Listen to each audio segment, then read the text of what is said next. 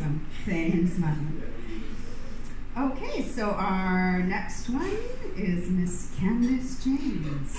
What am I? You're on the list, dude.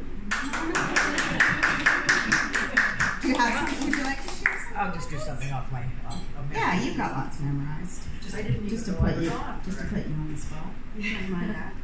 If I'd known I was on, I would have brought something new. But I'll do an old one just like me. This one's um, called Ink Stain in the Rain. The cold wind rates and scrapes the soft supple satin drapes in the cave of evening shade.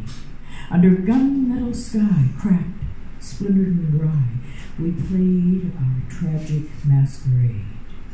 On the mantle of doom and foreboding gloom, we reached for this dream we were chasing. We can't quite grasp enough of it, just a, a quick silver touch of it.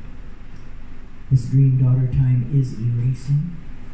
Then I feel your heart slip, so I tighten my grip on the trembling lip of this storm. Your body's a river, a fast running shiver, and I can't seem to keep myself warm. Engulfed by the ocean and fading emotion, you let go of my hand. Tide sweeps you away, but bids my heart stay. Nothing is as we planned. Waves wash me ashore, lips parched evermore, never to taste yours again. Love letters and pain left out in the rain became a fading ink stain.